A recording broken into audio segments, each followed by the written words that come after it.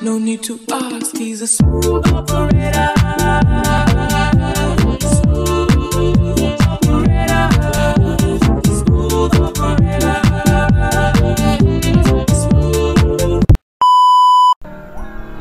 Hey, what's up? It's Miguel, your soon to be.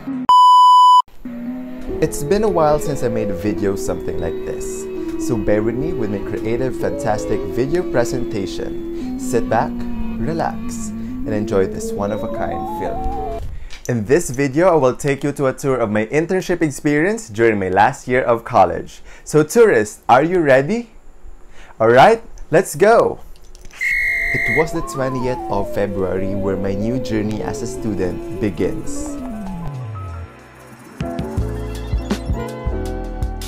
I was then nervous yet excited to see how this internship training away from my hometown was gonna make me when I get home.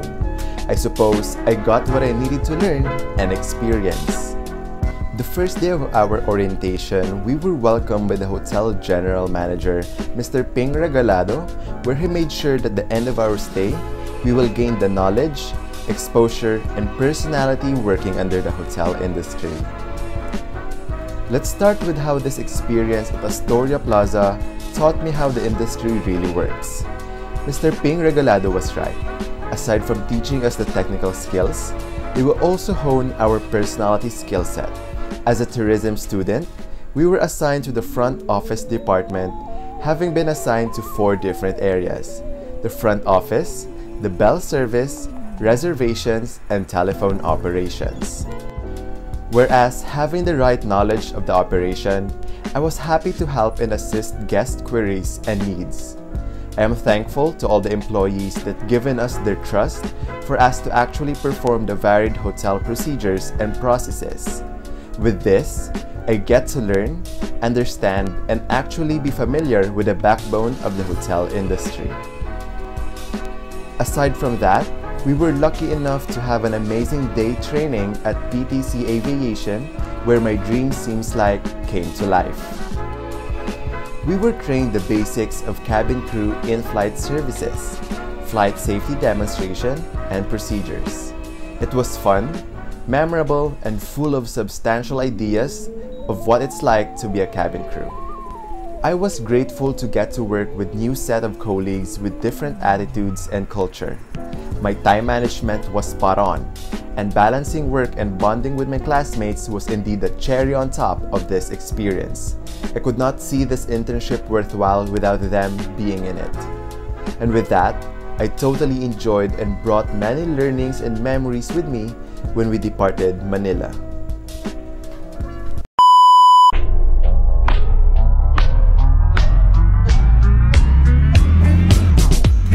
I was always this type of student who wishes to go beyond my limits. Well, I guess I made it possible, or better yet, my very supportive dean, Dr. Maria Annalisa A. Ruba, made it all possible, giving me a go signal to have another internship at AirAsia Philippines. It was a nerve wracking moment for me since the process of applying was like literally applying for a job. The requirements, the interview, and the talent portion. Well, anyways, here I am now, an intern of Aeropro Aviation Corporation, handling flights of AirAsia Flight Z2344 bound for Manila. Calling guest, hey wait! This experience is like a dream come true. I believe I was in high school that I saw a student intern check my boarding pass. And now, years later, I am now doing the passenger service agent duties such as check-in process, baggage tagging, boarding procedures, arrival, and my favorite, announcement. Good morning, ladies and gentlemen. This is a call for check-in to departing guests of AirAsia Flight Z2344 bound for Manila. I have now fully understood how it is to be in a fast-paced workplace that does actual operations. Time management is of the essence, but still making sure the safety and security of passengers. It gave me a glimpse of the difference between a student's workload and of that an employee, which they operate the given responsibility with most precision and accuracy to avoid breach, fraud, and insecurity of passengers and of the business. Being able to learn and experience first-hand duties made me undoubtedly see myself in this industry. I like how to see flock of passengers inside the airport going along with their lives but still being a part of making them in safe hands and keeping a smile to their journey. Additionally, my internship training doesn't stop there.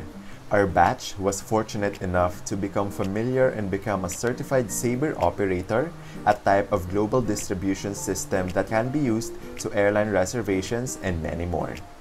This training was worth it for its hands-on training and well-organized laboratory, as well as learning from the fun and the best trainer, Mr. J.R. Formilieza, who shares his expertise in the field.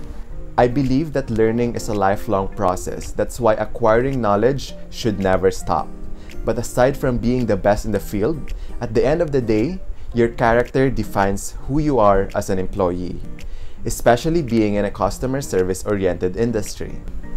With the trainings I acquired from the two industries, the hotel and the airlines, I feel like I am now ready to step beyond what is next for me after I graduate.